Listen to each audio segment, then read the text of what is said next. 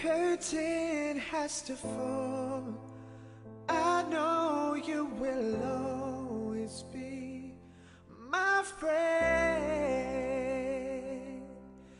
And though I miss you every day, I know you will always. Roger was a complete man, husband, farmer, politician, friend. He was a cook, manager, domino player. He was a friend to all. Let us salute this man who has given his entire life to the service of this country, to the service of agriculture. kid.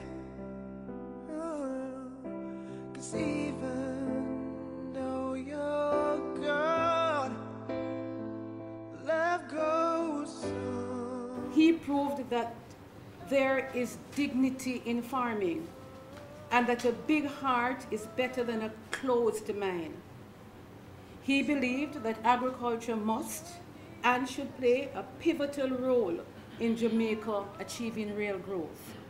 When others would have given up on the sector after the many storms, hurricanes, droughts, and all the adverse weather conditions which plagued the industry, he encouraged us.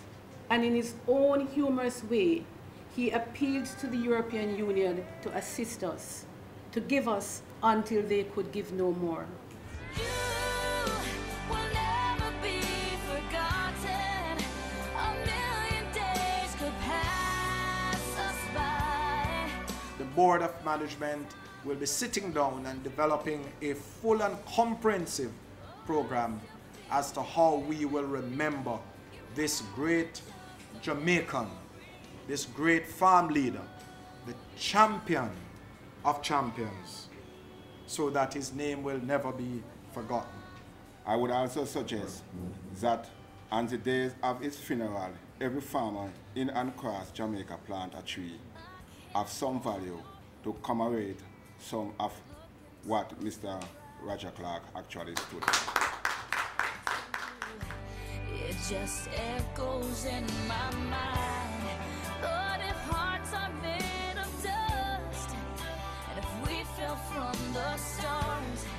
Contribution to the 4-H clubs was very tangible because under his leadership, the government budgetary contribution to the 4-H movement grew by over 1,000%. He was the finest model I have known when it comes to punctuality.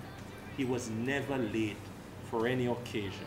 He was very passionate to see a reduction in the imported goods and work very hard in getting the agro parks to its full mandate. He had great passion to see the reduction of praedial larceny in Jamaica. As a farmer himself, he understood the plight of the farmers and could be identified with all the challenges we face. I miss you every day. I know you will always be. One of his mission for Westmoreland that he discussed with us as an association branch society was that he wanted Westmoreland to be always up in the top parish in terms of domestic food production. His contribution towards the Denbigh agriculture show from a Westmoreland standpoint, we could always depend on it. When we were first, he felt great adoration for his home parish. And for the past couple of years when we were not first, he gave it to us In, in Roger's way. in his own way. He never forgot the small farmers. They had made a significant impact on the economy, and he always found a way to embrace and to empower the small farmers. Is the first in the history of this country that we have ever brought large farmers, middle farmers, small farmer under one umbrella in the unity of law.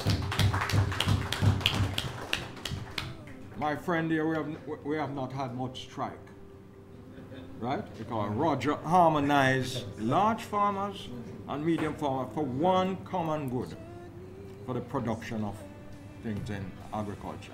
Roger to the Jamaica Agriculture Society and the 220,000 farmers was a champion farmer. He was a champion of many champions.